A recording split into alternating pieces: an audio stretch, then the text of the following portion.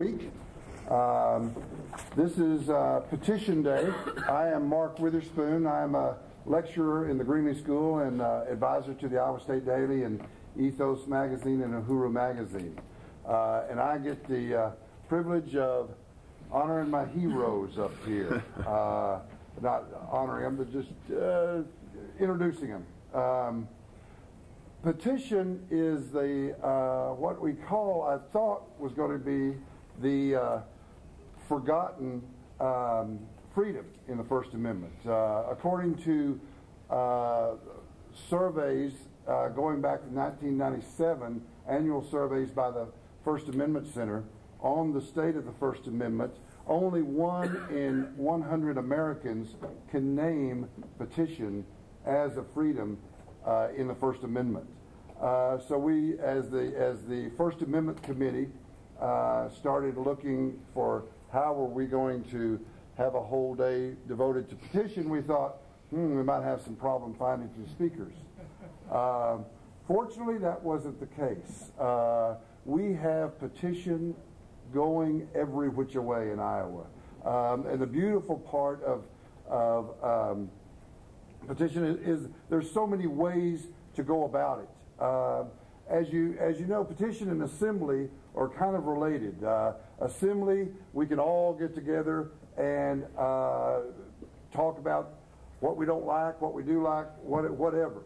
Petition is similar but opposite in the fact that it, you can have a minimum of one person who doesn't like what the government is doing, and that one person can go and do what he or she wants to do to tell the government, hey, I don't like what you're doing. Uh, it can be a, a petition uh, with signatures. It can be a lawsuit. It can be a, a, a, petition to, to remove people from office. And, and there's other ways to go about this, to uh, tell what you think. I want to uh, quickly uh, introduce um, uh, the panelists up here, and then I'm going to let them have it. Uh, but before I introduce them, I want to introduce one other person uh, who I think uh, is very integral here. Uh, actually, I've introduced two, but the other one is not here at the moment. Um, the Clark Kauffman, a reporter at the, uh, not just a reporter, the, one of the best reporters in Iowa, who works for the Des Moines Register did a series of stories. Ah, the other one just walked in. Um, did a series of stories in the Register earlier uh, last year, uh, last year um, about uh, Cass County and its auditor and sheriff doing some uh, uh, things, things people thought might not be exactly honest. Um, uh, and Clark, would you stand up? And for this series, he was a finalist for the Pulitzer Prize, which is the, as, as far as journalism is concerned, that's the Oscars. Um, so, uh, Clark, I, I, think we need a round of applause for Clark. He epitomizes what we at the Greenlee School consider great journalism, which is informing the public and educating the public about information uh, uh, uh, about uh, issues that they need to know so they can make better decisions about how to um, improve their community. And in this case, it worked to perfection. And I'm going to let Mr. Fehlmeyer talk about that. we have three cases tonight that we're going to be talking about. Um, we have Arlen Nichols and Mark Gannon who uh, successfully sued the Iowa State Foundation uh, for uh, uh to open their records. Uh, we have uh, Ronald Fehlmeyer representing the the Cass County Seven, who I think we need to stand up and give them a round of applause too for for their they're here. I think six of them. Yeah. And I will, uh, I'm sure uh, Mr. Fehlmeyer will, will uh, talk about them, but I will also uh, introduce them a little bit later. And then we have Henry Alliger and Ryan Dahl, who uh, successfully petitioned to get a, an issue important to Iowa State students on a special election ballot. Uh, that is the city council term of two years instead of the four years that they have right now.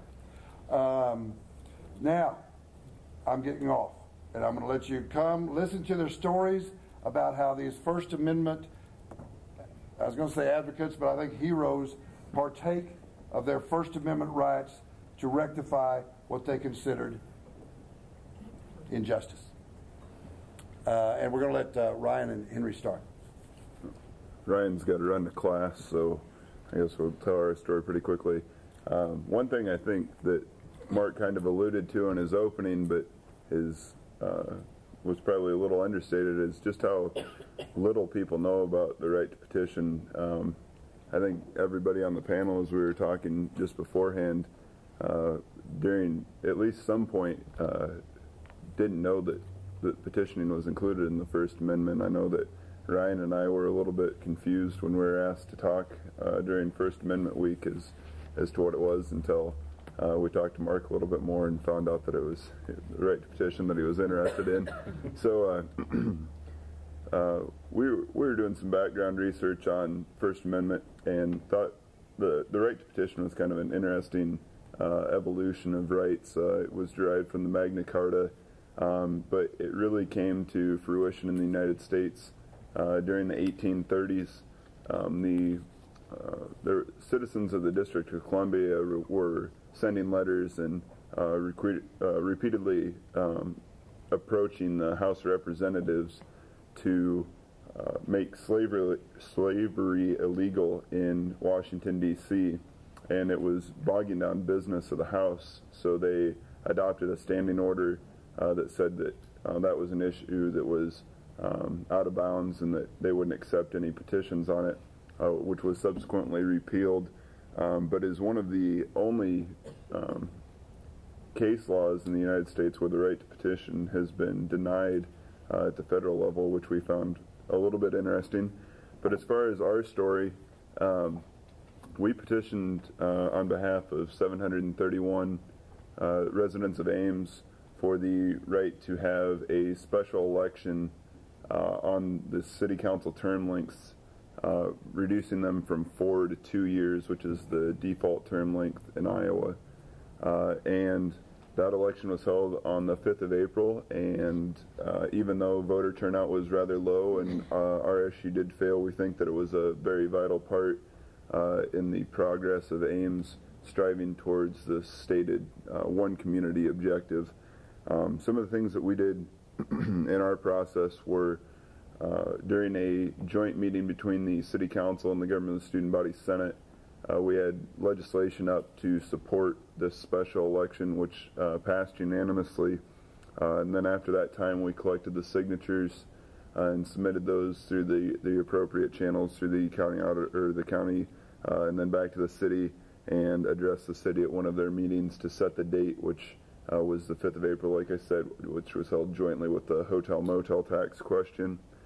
Uh, and then we held a education and um, voter registration campaign, uh, which included uh, a number of letters to the editor of both the Daily and the Tribune, as well as uh, an editorial in the Daily uh, and a number of stories in both those papers, as well as an extensive amount of canvassing in the community as well as on campus. Uh, and I think that um, if there's one thing that can be taken from our campaign, uh, even in defeat, it was the impact that just a few individuals can have. Uh, we concentrated most of our canvassing efforts, door to door campaigning, uh, in Ward 2 4 in, in that precinct, uh, which was the highest voter turnout in Ames or in, the, in this election with uh, 490 individuals, even though only 135 of them voted on our side. As opposed to uh, 4 5, which had 56 individuals vote and 50 of them voted on our side. So our signs must have worked as well. Uh, um, if there was, I think there was just a few problems um, in our in our campaign. One of which was uh, an assumption was made that due to the extensive voter registration efforts by New Voters Project and both parties for the presidential election in November, we felt that uh, most community members in Ames would have already been registered at their current address, and that was somewhat of an oversight. We probably had um, four or five hundred students uh, that we talked to that had either changed address um, or had registered for the uh, general election at their, their parents' address, so they weren't able to vote in this election and didn't know that the registration deadline uh, was a week and a half before the election. Uh, so that hurt our efforts a little bit. And then um, some people view the uh, the defeat as a problem, but uh, one of our main goals was to bring the discussion to the table of uh, students or of the concern of part of the community that they were not being represented by the city council and uh, this part of the community is commonly referred to as students but we refer to them as uh, community members who attend Iowa State. Um, and uh, I think that um, a moment in the campaign that kind of uh, illustrated our point was the front page of the Daily a few days before the election uh, had the headline of not just passing through.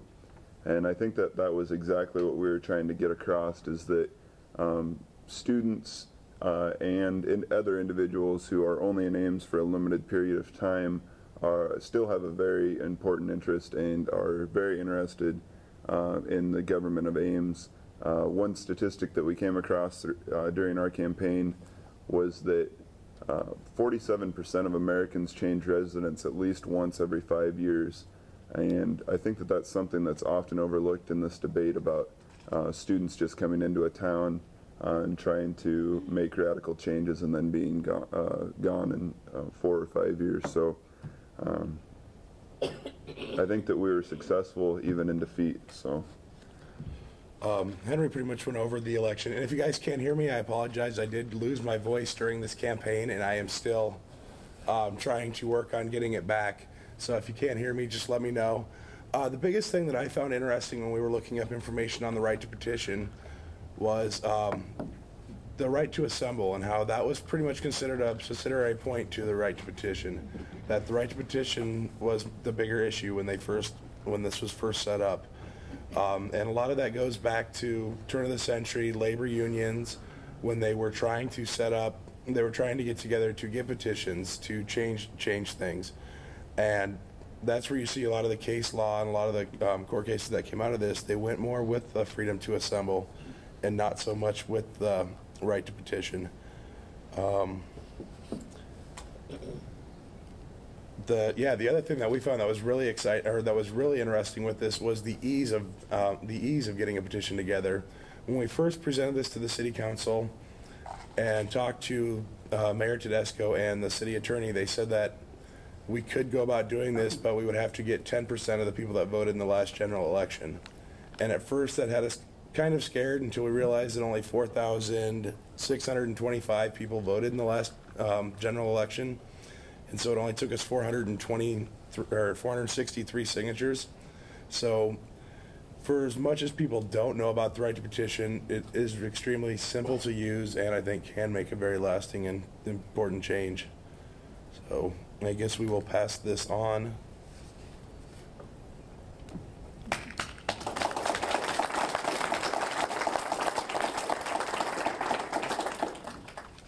Next. Yeah, go. I'm sure that when our founding fathers put uh, the right to petition in the Constitution, they were not thinking about creating a right to, they were not thinking about a right to petition a court for the removal of the county sheriff or the county attorney, as my clients did last year in Cass County. Uh, I want to first uh, say that I appreciate the uh, School of Journalism sponsoring this sort of an event, and it's fun to uh, tell about our success in Cass County and removing, removing the county attorney and sheriff. But before re reviewing how the legal mechanics got going in this case, we must point out that nothing would have ever happened if it was not for the exercise of the freedom of press and the work of Kauffman and the Des Moines Register. Um, His, his efforts uh, in that regard were somewhat overwhelming. He did day after day of study of the records of the Cass County Courthouse. Uh, He interviewed witnesses. Uh, His, his uh, report was a very first-class job of reporting on what happened. And I uh, can't thank him enough for what it did for the petitioners because uh, without his work, it would have been a very difficult task.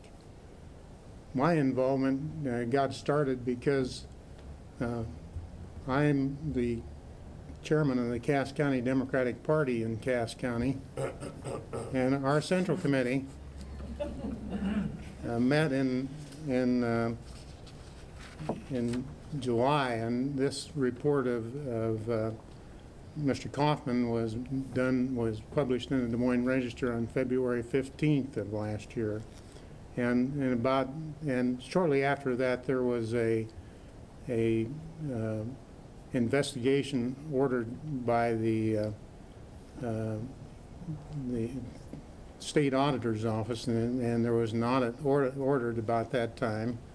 And, uh, and a couple events happened on that occasion uh, as soon as this news story came out. One was uh, the auditor's uh, thing, and the other was the day after that happened, there was a bunch of firearms moved from uh, the county attorney's possession to the sheriff's possession. These firearms belonged to the county. At any rate, um, I was meeting with my central committee meeting in, in, I believe, early July of 2004, and, and there had just been a report uh, filed. This was about, took about four and a half months for the state auditor to make their report, and had, had a lot of uh, my fellow members that were disturbed by the fact that uh, these individuals were still in office. Uh, The state auditor's report was there, and uh, it was very damning in our judgment. And we passed a resolution calling for their uh, resignation, which uh, made the press. Um, As a result of that July meeting, the uh, and the adoption of the resolution uh, it prompted Mr. Tyler of Atlantic, uh, prominent Republican in the community, to write a letter.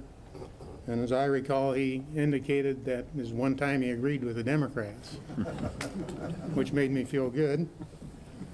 Uh, And later on, Mr. Tyler uh, contacted me and discussed uh, what was possibility, and he asked me about uh, a recall petition. Well, those of you who are not familiar with it, the state of Iowa, to my knowledge, has no provision for recall in- related to any political office.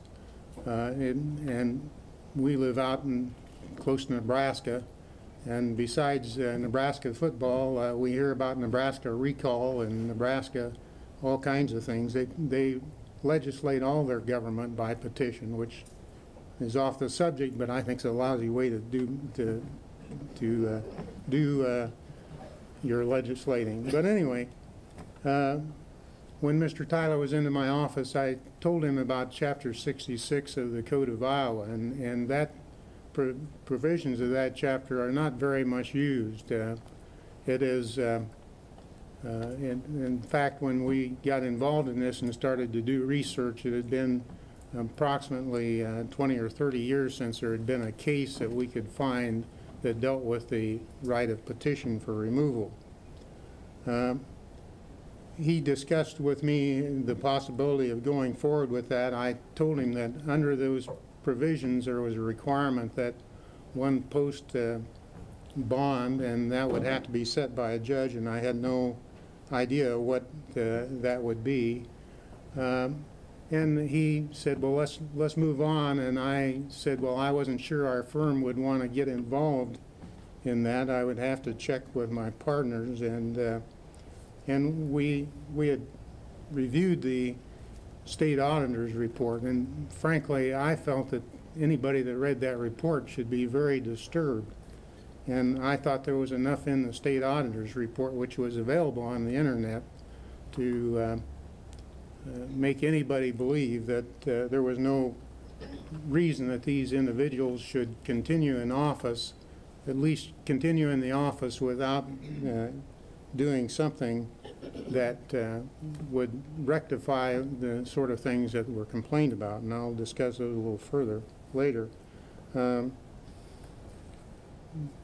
I told Mr. Tyler that it took five, at least five plaintiffs to bring this lawsuit or petitioners. Uh, And um, he said that he knew that he could come up with those individuals, and, and a few days later, he did come up wi- with those. Uh, While my firm had real concerns about this, we felt that it was something that somebody had to undertake, and it really, uh, even though we were well acquainted and had to deal with both the county attorney and sheriff for many years, it was something that just had to be done, and, and we undertook it. Um, And that uh, all occurred in, in late July, and on July 30th of last year, the petition was filed in district court. Uh, And uh, that was almost uh, five and a half months after the Des Moines Register's uh, story on the thing. Uh, In order to conduct these proceedings, somebody had to be appointed as a prosecutor. The state law, Chapter 66, which provides for these kinds of things, um, has the county attorney conducting those proceedings, except, of course, when the county attorney is the defendant. He couldn't hardly do that. So uh, the district court has the authority to appoint uh, a prosecutor.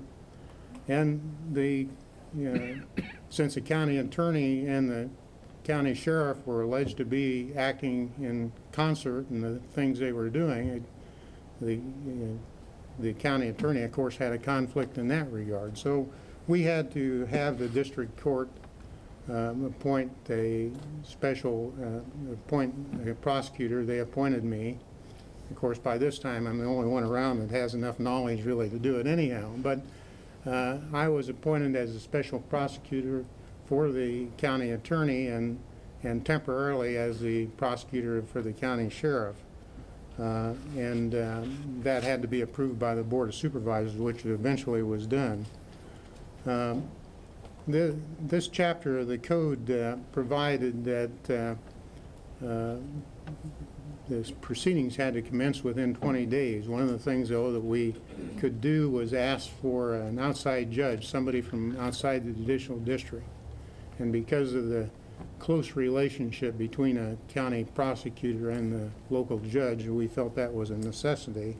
And so we asked for a outside judge, and um, uh, that, the suit was started on the 30th of, uh, of uh, Ju- July, and it was the 17th of August before the special judge was appointed. That was Robert Hutchinson of Des Moines, and, and a very fine judge indeed.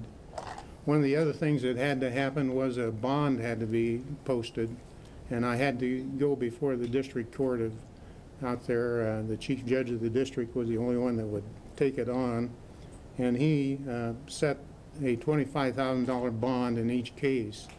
Um, And uh, this bond is for the purpose of, if, if the petitioners lose, uh, then this bond was to pay the defendant's uh, attorney's fees for defending the case.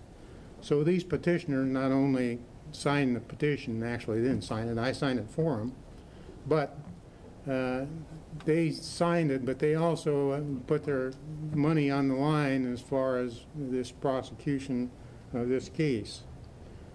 Uh, The statute provided that the cases had to be started within 20 days. Um, And the Supreme Court was 17, or uh, 20 days appointing the judge, so we couldn't serve notice on the defendants until the 20 days was up. That gave us time to get the bond in place, and, and we were ready to go, and the judge set a hearing, I think within two or three days of when the petition was filed, and, I mean, from when he became the appointed judge. And, uh, and he immediately set the trials, and we had asked that the trials be combined because of the the conduct, which I'll discuss a little further, uh, was so much, they did so many things in common. But he separated the two, and one was scheduled to start uh, August 30th, 13 days after he was appointed. And um, the second one was uh, to start September 7th, which was all within 20 days. Now, um, this is very short time in lawyers' time. I, I don't know how it is with anybody else. If you dealt with lawyers, they don't always get things done in, in that short a period of time. Needless to say, very few of the lawyers got much sleep for that uh, period of uh, about 20, 25, 26 days. Um, I later talked to Judge Hutchinson about it, and he said it was uh, the most stressful period that he had ever gone through during the same uh, time. So I guess it wasn't only us lawyers that were at risk at that time. Well, I've taken a long time to uh, get to the allegations in the petition that we filed, and what Clark Kauffman had brought to the public's attention more than anything else was the fact that the county attorney was making plea bargains which were saving people from losing their driver's license. At the trial, it was shown that Mr. Berry made hundreds of plea arrangements where people could change speeding and other moving violations into non-moving violations. Uh, The hot case in that, the one that really blew me away, was one that uh, a young lady was driving a 2003 BMW, and it was a, and it was in the year 2003, so it couldn't have been a very old car. She was clocked at doing 93 miles an hour. The individual was able to trade that one ticket for six defective violations on a, quote, 2003 BMW, and uh, to pay a fine which was $155 for each five miles an hour over the speed limit. This was a policy that Mr. Berry had established. Uh, His, that fine was $930. The fine was not authorized by Iowa law. Um, so uh, this individual had converted out of uh, moving violation into non-moving violations. One of the things that came out in this procedure was that the uh, county attorney was asking everybody to sign an affidavit that said, uh, I was driving that car on that day and I was guilty of all these crimes, and then they would list the, the six defective things that they had in their car. Uh, These were usually rear view mirror, and mud flap, or whatever. It didn't, they all were phony as could be. On cross-examination of the county attorney, I pestered him pretty good about that, and I asked him repeatedly if he believed those affidavits, and for a long, long time, his answer was, I had no reason to disbelieve them. And finally, after he had said that for about a couple hours, and all these individuals here can testify that, in fact, I did make him testify to that. Uh, He finally admitted that, uh, yes, he did believe all those people. Um, The interesting uh, thing about all that was that he had been publicly reprimanded by the Iowa Bar Ethics Commission uh, for his conduct with respect to those. And uh, he had, and this had gone to the commission, and the way that works is if you disagree with that, you have a right to appeal it to the Supreme Court. He did not do that, and in fact put out a, a news release that he was accepting that. Uh, This did not set well with the trial judge in the case because there's a little, one thing to say you're not uh, challenging the action of the uh, commission, uh, of the Ethics Commission, and then to go into court and try and uh, dispute and, and take the position that you really, you didn't do anything wrong was just a little, har- little hard for the judge to swallow. In his news story and his work for the news story, I should say, Uh, Clark Kauffman also discovered the sheriff had a fund that was referred to as a drug fund. Uh, The state auditor also investigated this and, and learned that the sheriff, with the knowledge and assistance of the county attorney, was feeding this fund. This was by improper methods, including um, the handling of drug forfeitures and, and automobile forfeiture- forfeitures. These monies were going into this account in the sheriff's office. Uh, The sheriff was not only using these funds uh, for drug investigations, we'll give him credit, he was using it for that. He also did, did things like sponsor fees for golf tournaments, uh, purchase cell phones uh, for the county attorney and others. And uh, there were quite a number of items, a page of items that we cross-examined them about at the time of trial. Um, While both of the defendants denied that there was any impropriety in how they were handling